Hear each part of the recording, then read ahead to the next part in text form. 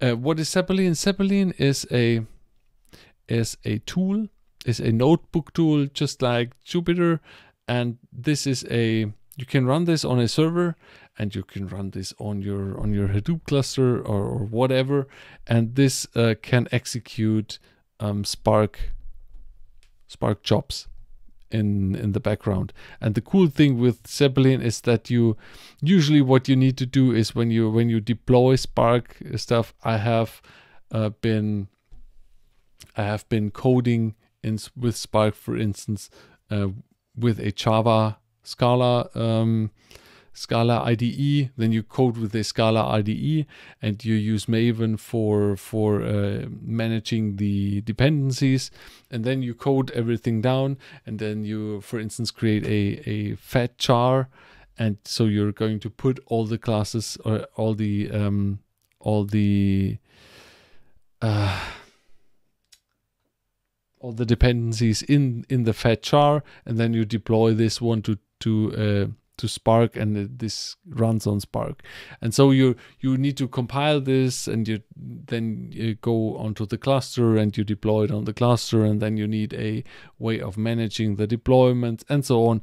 And with Zeppelin you have your notebook you can create in the notebook and then you can run more or less directly here and you can you can have a visualization which you cannot have in a normal spark environment. You don't have a visualization. So this is this is what i what i really like with zeppelin.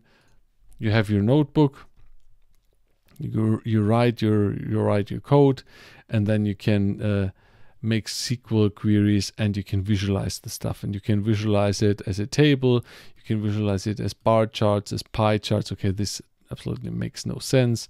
Area line graphs and scatter plots.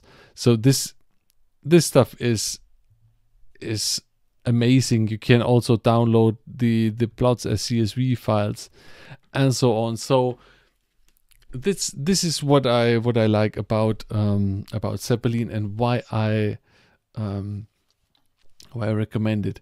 You guys, uh, I think it was Nick uh, or or someone uh, on the mon- on Monday on the stream said, "Yeah, Zeppelin is great," until it breaks down. it was really funny. Do this, and yeah, so it's a journey, but I, I'm, I, I really am convinced. Um, you need this stuff.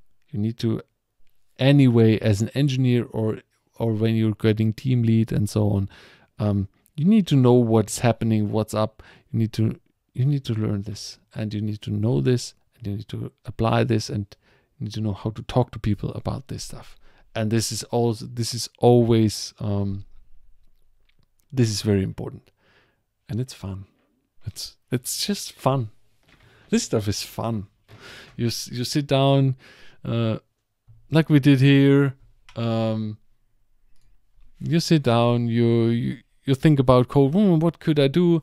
And then you struggle with naming variables, and then you're you're trying stuff out, and then you're going uh, here and writing SQL uh, uh, SQL statements, and then you're you're uh, you display it, and you know, okay bar, and then ah here ah okay I've learned that. 1991 uh, there are in this data set uh, 129 instances and so on ah, that's awesome okay uh, enough ranting here um,